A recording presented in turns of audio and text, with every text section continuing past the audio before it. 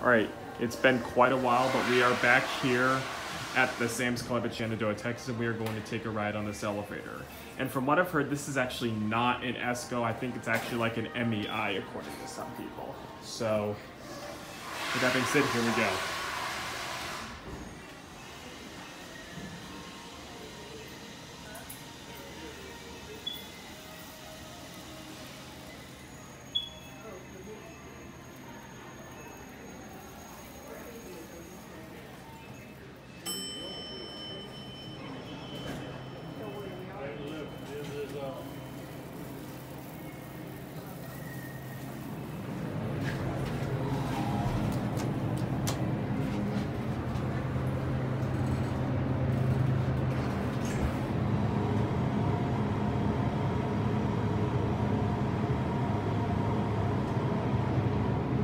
Sits for seven seconds before it starts moving.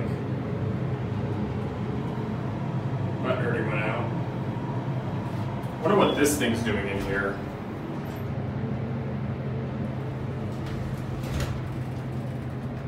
The door still got some problems. Go down to one.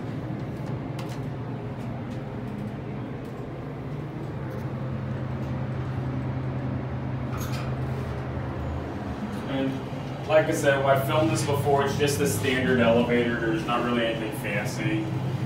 Fixtures right here. 2,100 pound capacity. And here we are.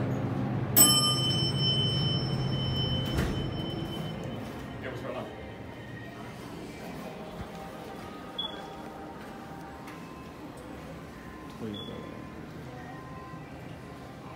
what's